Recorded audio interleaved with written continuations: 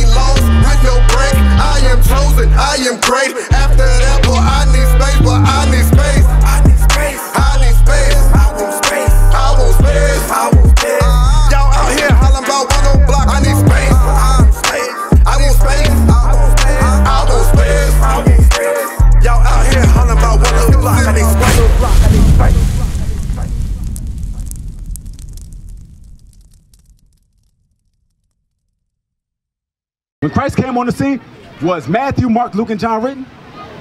So what was he teaching out of? He was teaching out of the Old Testament. And guess what he was teaching? Keep the commandments of God. So what does God require of the Israelite man, right? Read. But to fear the Lord thy God, to walk in all his ways, and to love him, and to serve the Lord thy God with all thy heart and with all thy soul. So he said what's required of you is to fear God and serve him with all your might, basically, right? But how do you do it? How do you serve God with is God going to come down and tell you how you're supposed to serve him right now? So, right, love your neighbor. That's one aspect of it. Watch this. Read. To keep the commandments of the Lord. How do you love God and, and fear Him with all your heart? To keep the commandments of the Lord. That's how you fear the Most High God by keeping His commandments. Because many of us say we love God, right? All of us have said that or heard someone say they love God, right? But the scriptures tell you if you don't keep the commandments, you don't love God, right? Most people say they love Jesus, right? Give me John 14, 15. Most people say they love Jesus, right?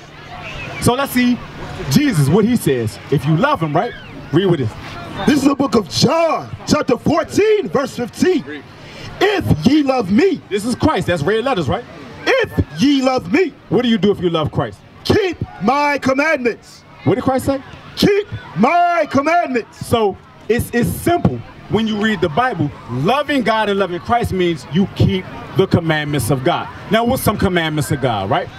Right? Give me uh give me uh what's it, Matthew 15? About the traditions of men. Right, because because what are our people out here uh to celebrate right now? What are we out here for? No, no, I'm saying out here. Why are we out here? What's, what's everybody gearing up for? Fourth of July. Now, let me ask you this. Is Fourth of July biblical? It's not biblical. So why do we celebrate it? Hey, sis, what's your name, sis? Come talk to me, sis. What's your name? Kayla. Kayla, come talk to me, sis. Oh. So if, if, because we all say we love Christ, we all say we love God, right? You step on this side, sis, on this side, sis, right? So, sis, you celebrate 4th of July? Okay, you celebrate 4th of July? Probably not. You celebrate 4th of July, bro? Okay. You not in the spirit of 4th of July, though. Okay. I just like the barbecue. Okay, understood, understood, bro. So let me ask you a question. Does you believe in God? Do you say you love God? So is 4th of July biblical? And if it is or if it's not, can you show me in the Bible? No. Okay. Can, right? Yeah. Read what you got. Listen up, listen carefully, brothers and sisters. Colossians chapter 2, verse 8. Beware lest any man spoil you Uh-huh. through philosophy Uh-huh. and vain deceit. So the scriptures say, beware lest any man spoil you, meaning teach you something contrary to what your God would have you do. Right. Read, lest you be spoiled through philosophies, other man's doctrines, and vain deceit or lies. After what? Excuse me. And vain deceit Uh-huh. after the traditions of men. After who? The tradition of men. Is 4th of July a holiday that God set forth? Or is 4th of July a tradition of men? It's a man's tradition. Because what were you doing in seven? We uh, 4th of July celebrates America's independence, right? Where were you during the time of 1776? Slavery. That's what you were. You were slaves when America was gaining its freedom. Hey, sis, pay attention. We were slaves during 1776, right? So when we're celebrating 4th of July and we're celebrating independence, are we celebrating our independence or the independence of them that had us in chains? Does 4th of July benefit us? Yes or no? No. So why do we celebrate it? If we were in chains and the person that's telling us to celebrate it is the one that had us in bondage, why do we celebrate it? That's right. See, if I came into your house and killed your whole family and then told you to celebrate National Muffin Day, would you do it? But that's what we do when we celebrate 4th of July. The very person that came over here and slaughtered our family. That's right. Killed our mothers, raped our mothers, murdered our fathers, castrated our fathers, and put our children to death, tells us to celebrate something, and we do it. That's right. Without even thinking about it, hook, line, and sinker. That's how simple we are.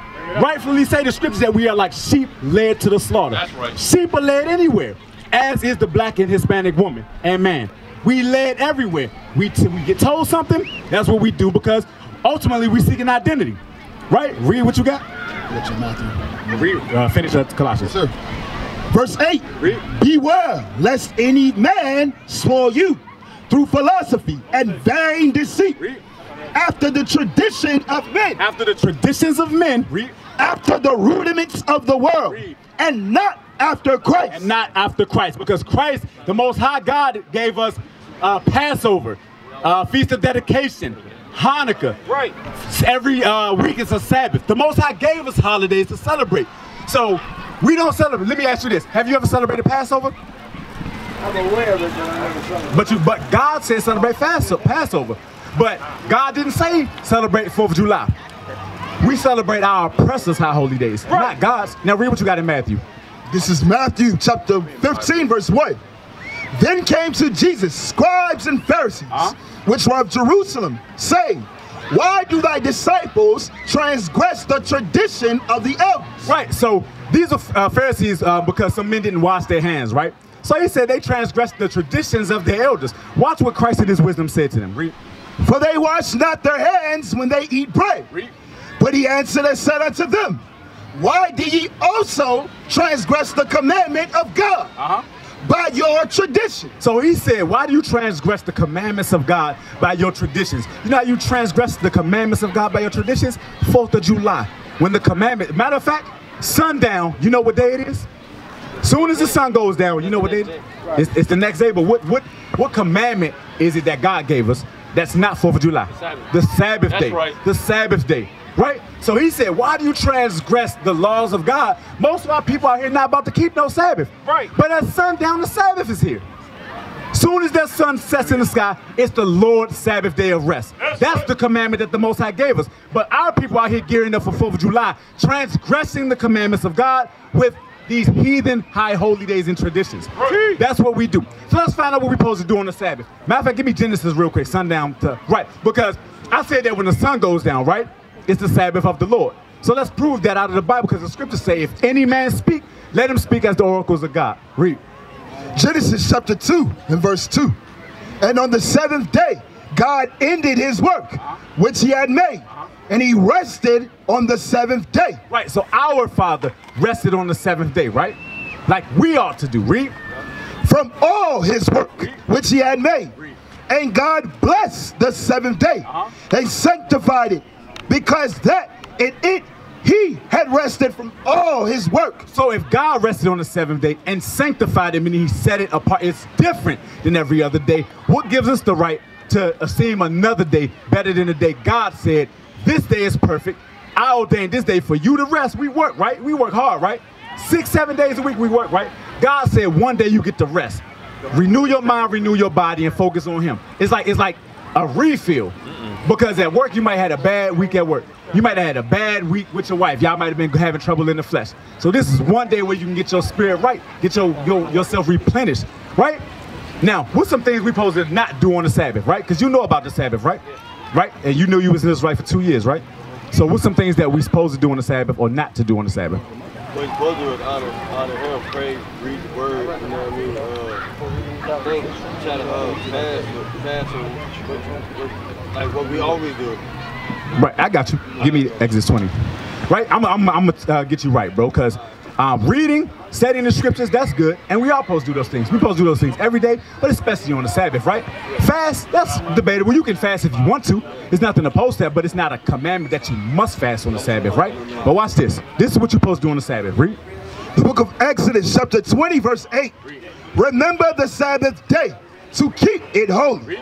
Six days shalt thou labor and do all thy work. So you got from Sunday to Friday sundown to take care of whatever business you need to take care of. If you need to go grocery shopping, get it done. If you need to wash clothes, get it done. If you need to make money, get it done. For, for six days, right? Six days. But on the seventh day, read. But the seventh day is the Sabbath of the Lord thy God. Uh-huh. In it thou shalt not do any work, thou, nor thy son, nor thy daughter, thy manservant, nor thy maidservant, nor thy cattle, nor thy stranger that is within thy gates. Right. So on the Sabbath, you nor your animals nor anybody that works for you is supposed to be working on the Sabbath. Right. Hey, brother and sister, come talk to me real quick. Y'all ever heard y'all Israelites? You ever heard you was an Israelite? You have? Come talk real quick, man. You ain't got nothing better to do than to hear this word of God, That's bro. right. That's right. Nothing better to do than to hear this word of God. Whatever you about to do ain't got nothing on the word of God, right? So you're not supposed to work. You know anybody that's in charge of your care, right? Give me um Nehemiah 831. I'm gonna show you something else we're not supposed to do on the Sabbath, right? Because it's more than just going to church, seemingly, right? That the, the generic answer that people will say is on the Sabbath day, you go to church, you fellowship with God. And that is true. Because it's a convocation. We gather and we learn about the word of God, right? But it's other things. Read. The book of Nehemiah, chapter 10, verse 31. And if the people of the land bring ware or any victuals on the Sabbath day to sell, uh-huh. that we would not buy it of them on the Sabbath. So you also not supposed to buy and sell on the Sabbath. So if you fear God and you love Him and you keep the commandments, when that sun goes down, anything that you need to buy, you're not gonna buy. You're gonna buy it before that sun goes down. Right? Because the commandment said on the Sabbath day, we don't buy and we don't sell. Right. At all. So if you need water, you need to go and buy some water. If you need food, you need to go and buy food now. If you need clothes, you need to go buy clothes now. Because if that sun goes down, if you buying things out, I mean, uh, upon the Lord's Sabbath, now you you stand between judgment of the Most High God. Right? That's what happens. Give me, give me uh, something else. Give me cooking. Give me uh, 16, Exodus 16. Right? I'm gonna show you something else because we're not supposed to cook on the Sabbath either. Nope. But does that mean we can't eat? I know you look you look like damn. How I'm not supposed to how I'm not supposed to cook? Man, I gotta eat, right? Yep. Watch what the Most High say. Read. Exodus chapter 16, verse 23. And he said unto them, This is that which the Lord hath said. Tomorrow is the rest of the holy Sabbath. So he he prepped them. Tomorrow's the rest of the Holy Sabbath, right? What you supposed to do? Or to the Lord. Bake that which ye will bake today. So whatever you gonna bake, bake it today and bake a double portion of it. Read. And see that ye will see. And boil what you gonna boil. So he said, whatever you gonna cook, cook it now and double that, right? Read. And that which remaineth over lay up for you to be kept until the morning. Right. So you can eat, just you gonna eat cold food. What's some things that we can eat on the Sabbath? You like sandwiches? You can eat sandwiches. You like uh wraps, like like wraps and stuff like that. You can eat wraps. You can eat uh, chips. You can eat yogurt, pasta salad. You can eat uh cereal. You know, fruit, vegetables. Uh, you can eat a multitude of things. You know, hell, you can eat cold pizza. You can eat cold chicken. You just can't cook. Cold, you can't You, you can't cook it. You can't cook it. Right, give me Exodus 35. You can't cook it on the Sabbath because that's that's the commandment, man. That day we focus on the Most High God. That's a sacrifice unto the Lord, right? Read what you, hold on, I got you. Read this real quick. Exodus chapter 35, verse 5. Take ye, excuse me, verse 3. Ye shall kindle no fire throughout your habitations upon the Sabbath day. Right, so you can't cook. Come closer, man. What's your names? Joshua. Okay, nice to meet you, Joshua. What's your uh, what's your question, bro?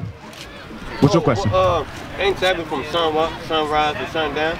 No, it's from sun. Give me that in Genesis. Genesis 1, I think it's 4. It's from sundown to sundown. It's a 24 hour cycle from the time that sun goes down until the sun goes down the next day. Right? Read. Genesis chapter 1, verse 5. And God called the light day, and the darkness he called night. Uh-huh. And the evening and the morning were the first day. Right, so the day begins with the evening, right? I knew that. And then from evening to evening is one whole 24 hour cycle. Gotcha. Okay, understood. You got any questions, bro? No, sir. Okay, understood. You ever heard you was an Israelite, Joshua? Yes, sir. You did? Yes, sir. Okay, so how long you know you was an Israelite? Well, I've known for a minute now, but they clarified it. Okay, understood, understood. So uh, give me that in uh, uh, Deuteronomy 10 again, right? Because, uh, and I'm, I'm gonna deal with both y'all now. All praise. What's your name, man? Uh, King, come closer, man. We, King? Oh, King, King. Okay, all praises, King. King, come closer, man. I'm gonna deal with all y'all at the same time, right? So you know you're an Israelite, King?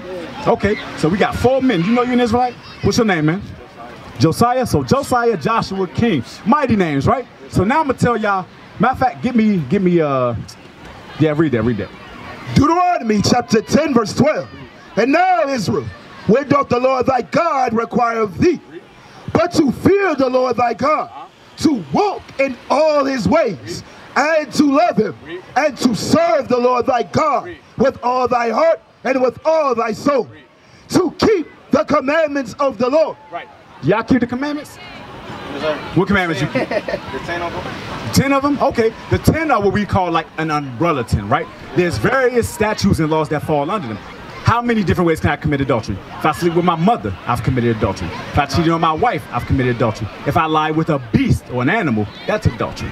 If I sleep with a woman that's not my wife, that's adultery. If I, uh, what's some other things? If I think about a woman in my mind to lust after, that's adultery, right? So, right, homosexuality is adultery. So there's many things that fall under those 10, right? So I'm, I'm gonna give you some things that, that uh, you, you gotta keep, because the scriptures say, if you love God and fear him, you keep the commandments, right? So give me fringes, right? Because if you know you're an Israelite, there's some things that, that you're supposed to do. Um, I don't know if you can grow a beard. I don't, y'all, y'all seem like some young brothers, so I don't know if you can grow a full beard, but these are basic commandments that we should be keeping, right? Read that real quick. The book of Numbers, chapter 15, verse 38. Speak unto the children of Israel Which you are, King Joshua. What's your name again? Josiah. And what else? Friday. Fri- Friday, okay. I don't know how I forgot that, man. Read. and bid them that they make them fringes in the borders of their garments throughout their generations. So, you see these little things on these men's garments that you, you see right here? These are called fringes, right? Little tassels on the end of your garment, right? Throughout your generations. Meaning, as long as you have children, because that's what a generation is. I am one generation. My father's another generation. My son is another generation, right? So, as long as you're generating, you must put these on your clothes. Right. Why do you got to put these on your clothes as Israelite men? Read. And that they put upon the fringe of the of the borders a ribbon of blue. Just like you see. You see the fringes, you see the ribbon of blue. And all of my brother's garments. Read. And it shall be unto you for a fringe, that ye may look upon it and remember all the commandments of the Lord. Right. So when you wear these, they remind you not to commit sin against the Most High. Right. Because sin is the breaking of the commandments of God. That's right. Did you know that? Get that real quick. First John 3. I'm gonna show you according to the Bible because we grew up in Christianity. I know I did. You ever been to Christian church? Yeah. And we've been there for years, right? Yeah. And if you ask your pastor what is sin, more than likely you'll get an answer like uh, things that's that go against God, something real bad. But the Bible defines itself. You don't have to go far to find out what sin is, right? So let's find out what sin is. Read. The book of First John, chapter 3, verse 4. Whosoever committeth sin, uh-huh. transgressive also the law. So God says sin is the breaking of the law. Which law? God's commandment law. Read. For sin is the transgression of the law. Right. So if we love God, we don't break his commandments. Because if we do, we in sin, right? Now, y'all say y'all keep the commandments, right? Y'all say y'all know y'all was Israel for a while, right? So I don't see no fringes, man. All the time? All the time.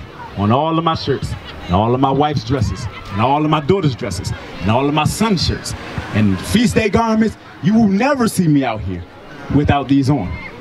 Never. Why? Because my heritage is this. And I take pride in my heritage. Is that not what we're looking for? Is that not why we why is that not why we out here marching Black Lives Matter and wanting other people to care about us and treat us like we have some dignity and respect because we're looking for a culture, we're looking for a heritage, we're looking for something that we can call ours? But the Bible tells you what those things are. The Bible tells you what your culture and your history is. What you say? Right. Christ himself wore 'em. Christ himself wore fringes. That's right. Right? Where you see yourself on this sign? Where you see yourself on this sign? Because these are the people of the Bible. Believe it or not, this Bible is about a lost and forgotten people. This Bible ain't for everybody. This Bible is for the lost children of Israel. That's Those 12 tribes you read about from beginning to end in this Bible. About their rise, about their fall, and their eventual rising again. What's your question, man? So do you feel like some things, um, was that Old or New Testament? That? Would I, I, I bounce between both, but what's, what's your question? I'm curious. Okay, my question is, um, do you feel like some things only equate to what was happening in that time frame? Like, say if I was just to talk I, about I, I got you. either Yeah, wearing jewelry or tattoos or Right. things of that nature. I got you, bro. Give me, give me uh, Romans 15, 4, right? Read that. Romans chapter 15, verse 4. For whatsoever things were written aforetime uh-huh. were written for our learning. Right, so the things that were written in the Old Testament were written for us to learn from today. Why? that we, through patience uh-huh. and comfort of the scriptures, might have hope. Right, that we through patience and comfort of the scriptures might have hope, right? So the things that were written in the past are pertinent today. That's what that's saying. Now, when Christ came on the scene, let me ask you a question. Do you believe that when Christ came on the scene, there were some things that was just done away with? Like we don't gotta do those things no more? You, you don't believe that or you do believe? No. You don't? Okay, so that guess what? When Christ came on the scene, was Matthew, Mark, Luke, and John written? So what was he teaching out of? Old Testament. He was teaching out of the Old right. Testament. right. And guess what he was teaching? Keep the commandments of God. That's why, and give me uh, John 15, 14 and 15 again. That's why he said, if you love me, keep my commandments. They're his commandments, they God's commandments. That's why he said do those things. Because Christ wasn't teaching, really, the New Testament is saying the same things the Old Testament. You're not going to read about nothing in the New Testament that you're not going to read in the Old Testament. The only thing that was done away with in the New Testament is the law of animal sacrifice. Because Christ himself was that sacrifice. We used to scream black power while heroin was pushed. But at the end of the day, nothing's in vain. IUIC has been given a vision. The tents of Judah has risen. Many has attempted the mission, minor murmuring, omitting, and missing the mark. Just reading that he had the flame of fire in his eyes gave us the spark. We on Paul's mission.